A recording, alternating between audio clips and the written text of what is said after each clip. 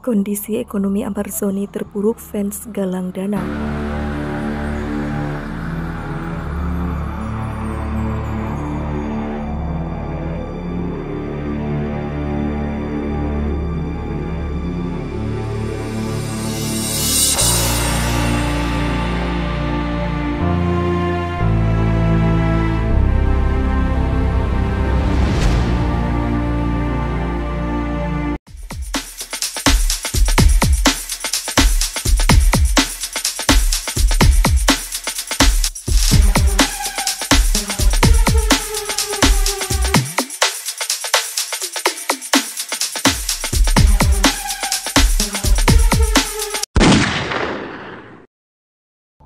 Kuasa hukum Amarzoni John Matias mengklaim bahwa sejumlah penggemar ingin menggalang dana untuk sang aktor.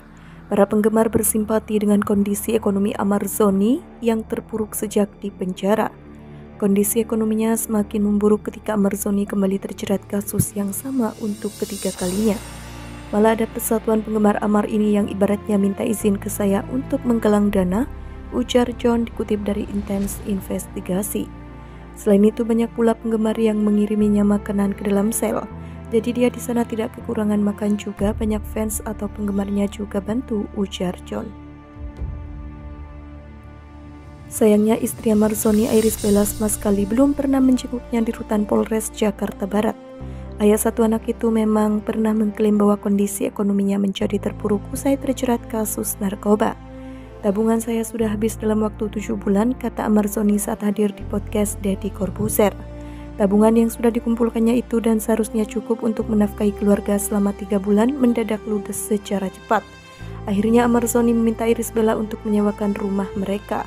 Sementara sang istri dan anak tinggal bersama orang tua setelah bebas pada Oktober 2023, Amarzoni mengaku mau bekerja apa saja asalkan bisa menafkahi keluarganya.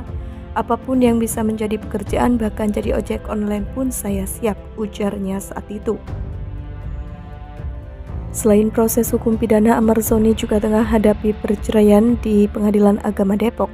Iris Bella gugat cerai karena merasa tak cocok lagi dengan Amarzoni. Salah satu penyebab Ibel, saat anak kerap Iris Bella minta cerai karena kebiasaan Amar memakai narkoba.